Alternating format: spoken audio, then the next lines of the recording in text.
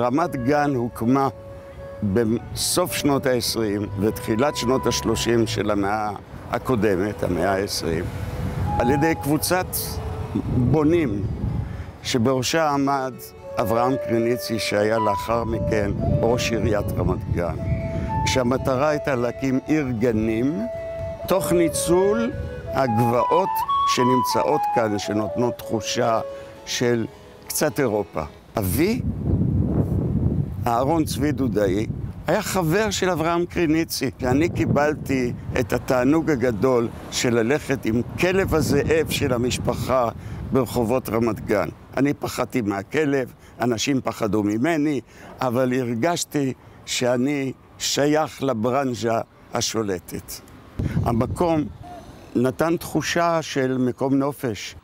רחוב שרת ברמת גן, הנמצא בין רחוב הרצל לקרניצי, הוא אולי אחד הרחובות היחדים בעיר המשמר בתוכו מראות וניחוחות מימים עברו. זה המקום הכי אירופי ברמת גן.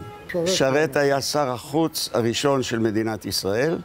הוא גם ישב כאן תקופה מסוימת. משרד החוץ התנהל מכאן. זה אגב רחוב השגרירים. יש פה, והיו פה הרבה שגרירויות זרות.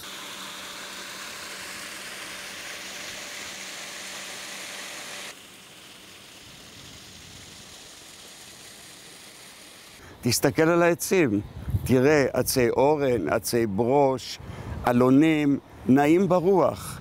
נרד 80 מטר למטה, לא נרגיש את זה. ולכן נבנו כאן פנסיונים, בתי הבראה, בתי החלמה. זה המקום שאפשר לדוח בו, לקבל ארוחת בוקר, ארוחת צהריים, ארוחת ערב, ארוחת לילה, נגן על פסנתר. תראה, אנחנו יושבים עכשיו על ספסל שהוא לכאורה הספסל שישב עליו המשורר הלאומי חיים נחמן ביאליק, שמאוד אהב את רמת גן, וקריניצי ניסה למשוך אותו לרמת גן. הסיפור הוא שעל האבן הזאת שנמצאת כאן כתוב שביאליק ישב כאן בתרצ"ת. אני חושב שאם הגיע לביאליק להיות בגן עדן, אז בתרצ"ת הוא ישב כבר בגן עדן. אבל, כי הוא מת שלוש שנים קודם. ביאליק אהב את רמת גן. אהב את רמת גן כי בכל זאת הוא אהב קצת להתגעגע לאירופה. ביאליק כתב פה נדמה לי גם שניים, שלושה שירים. קריניצי ניסה למשוך אותו לרמת גן.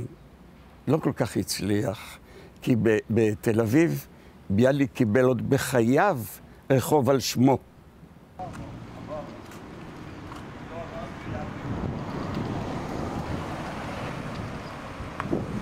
יש פה אנדרטה לזכר נופלי רמת גן, תש"ח והלאה, והיא צופה לכיוון הים.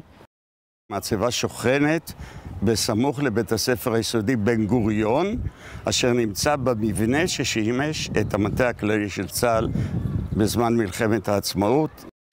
כאן ישב בן גוריון, לפני שהחליטו ליישם את המעבר לקריה בתל אביב.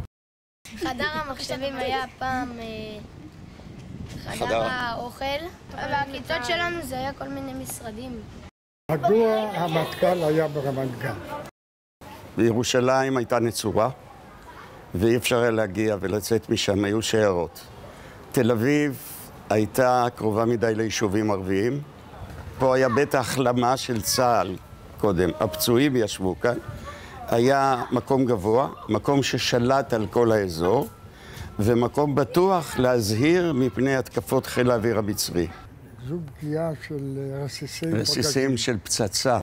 בן גוריון התיישב שם בבית ההחלמה וחשב שהמצרים לא יודעים.